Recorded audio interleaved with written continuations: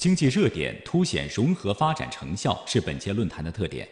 第二次参加海峡论坛的台商林天良表示，以海峡论坛为代表，大陆积极引导支持台胞参与“十四五”规划实施，融入新发展格局，参与高质量发展，是台商获得实实在在的利益。台胞李佩珍在大陆工作九年，一直奔波于福建的乡村古厝，先后带领四十多位台胞到乡村做服务工作。他表示。大陆的土地深深吸引着他，虽然在大陆工作受到了来自岛内的压力，但他愿意留在大陆扎根基层，服务乡村。论坛大会上，来自两岸的青年歌手也共同演唱了由两岸音乐人携手创作的歌曲，表达了两岸人民割不断的血缘与历史文化联系，以及两岸青年一起努力奋斗的决心。